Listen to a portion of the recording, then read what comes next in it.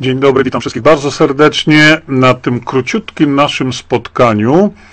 Y, nie chcę go przedłużać ze względów e, oczywistych, ale ponieważ e, no właśnie się e, słyszy i widzi bardzo często w tej chwili pana Szymona Hołownię występującego w mediach i tak dalej, ja bardzo uprzejmie proszę teraz o to, abyście, drodzy Państwo, jeśli możecie, to ten mój przekaz, e, no właśnie przekazali do pana Szymona e, bezpośrednio, być może na jego stronę internetową. Ja nie za bardzo mam czas w tej chwili to robić, ale państwa bardzo o to proszę.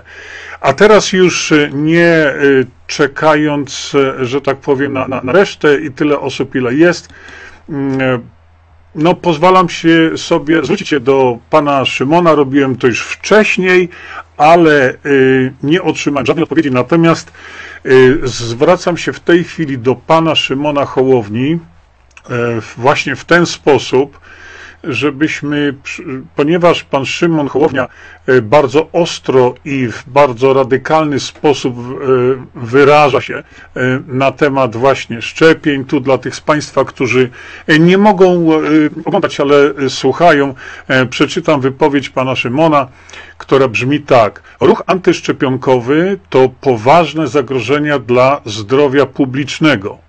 E, to mój jasny pogląd, ale i deklaracja. Tak będzie też traktowany. Gdy zostanę prezydentem RP, no to gdy zostanę, to tak jeszcze jest duży znak zapytania, e, prawda? Ale panie Szymonie, chciałbym, żeby pan się przygotował na tego typu dyskusję ze mną, żeby pan potrafił to uzasadnić. Y, druga sprawa, która mnie no niezmiernie, nie tylko mnie oczywiście zbulwersowała wręcz, no to znane pana mm, tutaj powiedzenie, które już krąży po internecie. Dla Państwa, którzy y, nie, y, nie oglądają, czytam teraz. Pan Szymon Hołownia powiedział, nie wszystkie dzieci trzeba szczepić. Szczepić trzeba tylko te, które chce się sobie zostawić. No więc e, nie traćmy na to czasu. E, drogi panie Szymonie, ja po raz któryś rzucam medialną rękawicę panu, jak wielu też innym. E, spotkajmy się i porozmawiajmy na ten temat, wymieńmy wiedzę, którą Pan ma, jakąś, ja nie wiem jaką, ale chętnie się dowiem, a ja Panu przekażę moją wiedzę. I teraz na zakończenie tego, tego mojego krótkiego wyzwania dla Pana, pozwolę sobie Panu przeczytać e-mail, który wysłałem dzisiaj, dzisiaj do mediów, które pan doskonale zna, no bo jest pan przecież człowiekiem bardzo religijnym, wysłałem to do zarządu e, Radia Maryja i Telewizji Trwam. I tutaj znowu dla tych państwa, którzy mogą tylko słuchać, nie mogą oglądać, ja pozwolę sobie przeczytać e, właśnie przeczytać sobie ten e-mail, który dzisiaj wysłałem. E, zaadresowałem to szanowni państwo, bo to ja nie wiem, kto tam zarządza właściwie tym wszystkim. E, I napisałem tak. Przedstawiciele polskiego rządu, jak, o przepraszam bardzo, czekajcie, wrzucę wam to tutaj. O.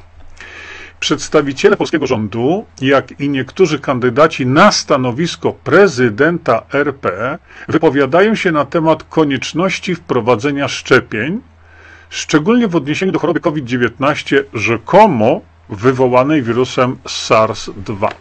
Ja, jako dziennikarz, publicysta, który zgłębił szczegóły dotyczące szczepień we wszystkich moich wystąpieniach publicznych, pismach do hierarchów polskiego kościoła katolickiego i tak zwracam uwagę na niewyobrażalne niebezpieczeństwo szczepień, szczególnie przeciw SARS-2.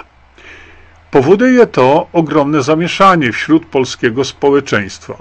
W związku z tym zwracam się z prośbą o zorganizowanie debaty publicznej w programie Rozmowy Niedokończone, gdzie w sposób rzeczowy, bez pośpiechu, spokojnie można będzie ten temat omówić. Do rozmowy możecie Państwo zaprosić kogokolwiek, rozpoczynając od ministra zdrowia, ja wystąpię sam.